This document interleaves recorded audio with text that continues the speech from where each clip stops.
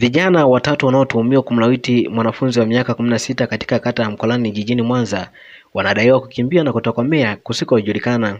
Tukio hilo la kulawitiwa lilitokea Februari kumi na nane mwaka elfu mbili na ishirini na nne saa kumi na mbili na nusu jioni katika kata hiyo, mara baada ya mwanafunzi huyo kwenda kuazima daftari kwa rafiki yake, ndipo alipozingirwa na vijana aliyodai walikuwa wanne, huku akimtaka awapatie fedha. Mara baada ya kukataa, wakamchukua na kumpeleka mlimani ambapo alimvua nguo na kuanza kumlawiti. Mara baada ya tukio hilo, mama mzazi aliibuka na kudai mara baada ya kutoa taarifa katika kituo cha polisi Igogo, aliambiwa awatafute wahalifu na kuwakamata, hali iliyoibua maswali mengi kuhusu kauli hiyo na kulifanya jeshi hilo kukanusha taarifa hiyo. Kutokana na tukio hilo, kamanda wa polisi mkoa wa Mwanza Wilbrod Mtafungwa ametembelea eneo hilo Aprili mbili mwaka elfu mbili na ishirini na nne na kufanya mkutano na wananchi wa eneo hilo ambapo amesema wazazi wa vijana hao wamekiri watoto wao kutoroka mara baada ya tukio hilo, hivyo kumwagiza ofisa upelelezi wilaya ya Nyamagana kufanya operesheni kwa kushirikiana na wananchi hao kuwapata watuhumiwa hao mara moja. Maagizo yangu, jeshi la polisi, OCCID huko hapo,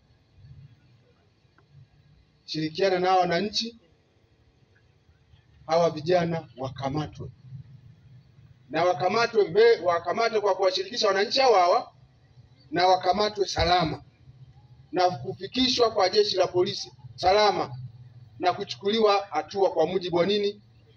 Wa sheria. Na ole wenu mwadhuru,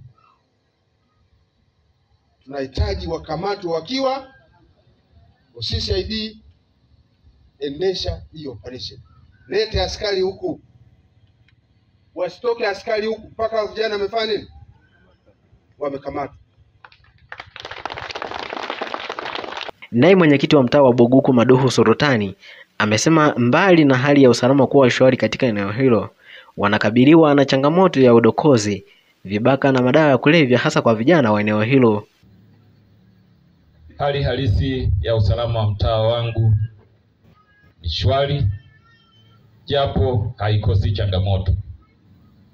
Miongoni mwa changamoto ambazo mnakabiliana nazo katika mtaa wangu, tunao wezi wadogo, wadokozi, vibaka ambao kwa namna moja ama nyingine wameendelea kutusumbua na sisi tukiendelea kukabiliana nao kwa kadri tulivyoweza.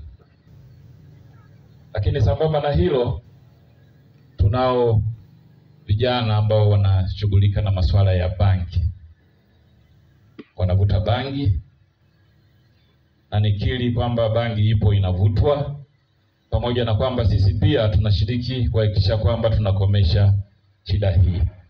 Tumeendelea kutoa taarifa katika kituo chetu cha polisi Buhongwa, hali kadhalika Igogo, pale tunapopata matukio haya na pale tunapoona viashiria vya vijana wetu kuendelea kuvuta bangi, tumeendelea kutoa taarifa na kuwajulisha, na tunashukuru Mungu kwa sababu wamekuwa wakifika na tunafanya msako tunakusanya vijana ambao wanashiriki hilo, lakini bado chembe chembe zipo. Matamanio yetu kama mtaa ni kuona kabisa wimbi hili la uvutaji bangi linakwisha.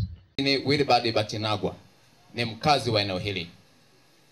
Tumedokolewa sana vitu, lakini watu baadhi ya wengine wakipeleka taarifa hazifanyiwi kazi. Kwa hiyo kuna udokozi. Udokozi tumedokolewa sana, unakuta usiku mpaka tunaibiwa. Juzi hapa jirani yangu kaibiwa kuku, ni askari mmoja yuko mafunzoni. Nimepigiwa simu saa saba na nusu usiku, watu wameingia kwake, wamevunja mageti na kuku zaidi ya 30 walichukua. Tumeshaandika kuna udokozi wa kuku. ndio Eh, lingine Lingine kuna uvutaji wa bangi au vijana wanapokuja kutoka maeneo mengine. Sisi tu, mimi niko hapo mkuu ukanda wa mlimane pale, vijana wengi wanapita kwenda kure, na ilifikia mpaka mahara mwenyekiti wangu wa serikali ya mtaa akaweka bango kule, vijana wasipande kuvuta bangi, kwa hiyo kuna vijana wenu wanavuta bangi, na ni wengi hapa mtaani mkuu. vijana wenu wanavuta bangi. Ndio mkuu. Naitwa Sadiki Burugu kutoka mtaa mkuu. Nimehamia- hapa elfu mbili na nane mpaka leo hii nikipiga mahesabu zaidi ya miaka karibia ishirini. Mtoto wangu anaitwa Kasimu, ndo huyo kijana wangu anayetafutwa kila siku. Huyo ni mtoto ni mimi ambaye nimemlea. Mtoto amekulia mikononi mwangu, amekulia hapa hapa Bugugu,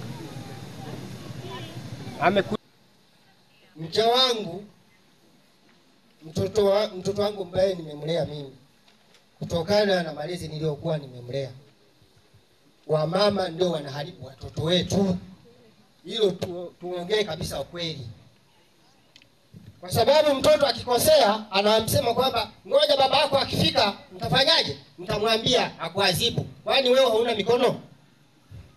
Hilo linachangiwa na wakina mama ndio linasababisha upotezi unanio nizamu na vibaka na nini ku- kutokana na wakina mama.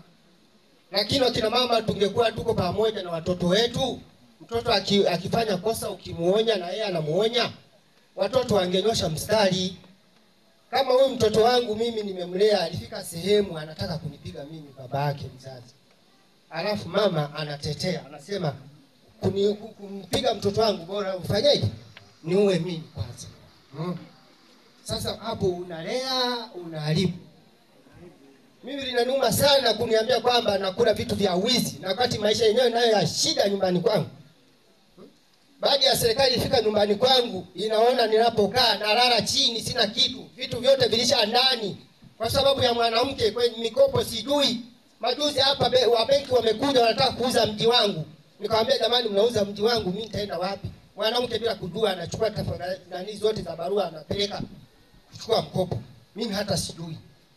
Nikaja kuona hapa mimi najitengenezea nini? Uadui na watoto. Kwa sababu watoto wote wako upande wa mama Jina langu naitwa Agnes Ponsiani Kubozia kutoka Ukelewe. Sasa basi, maaskari tunaombeni mtusaidie. Hawa watu tuna- tunawapenda, tuna kwa kwamba tunapowasema hapa hatuwapendi, tunawapenda chonde chonde, na watoto wetu tumewazaa. Na mimi nafurahi mtoto wa mtu jirani yangu akiwa na sifa nzuri, na mimi najivunia, lakini akiwa na sifa mbaya naogopa hata kumtuma.